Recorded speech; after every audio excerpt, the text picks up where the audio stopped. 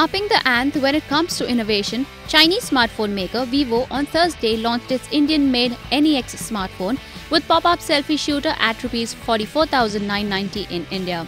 The smartphone, which will be available for purchase both online and at select retail stores from today, comes with an in display fingerprint sensor and has high end specifications, including a Qualcomm Snapdragon 845 chipset, 8GB RAM, and 128GB onboard storage.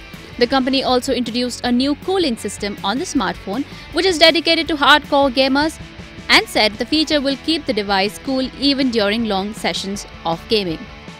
The retractable front snapper of the device pops out in a jiffy, while the 6.59 inch Full HD Plus Super AMOLED Ultra Full View display with 19 3 9 aspect ratio doubles up as an earpiece.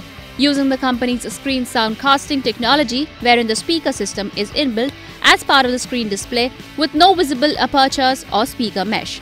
Vivo NEX is also packed with hi-fi audio technology, three amplifiers and a DAC, and also an OLED panel which serves as an earpiece.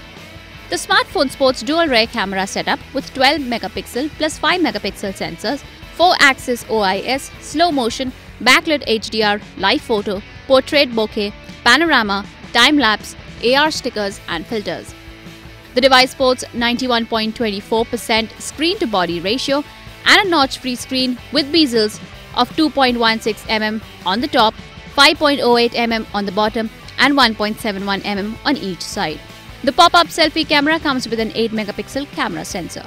The device runs Vivo's proprietary FunTouch OS 4.0 based on Android 8.1 Oreo and is fueled by 4000 mAh battery with Type C charging. IANS report.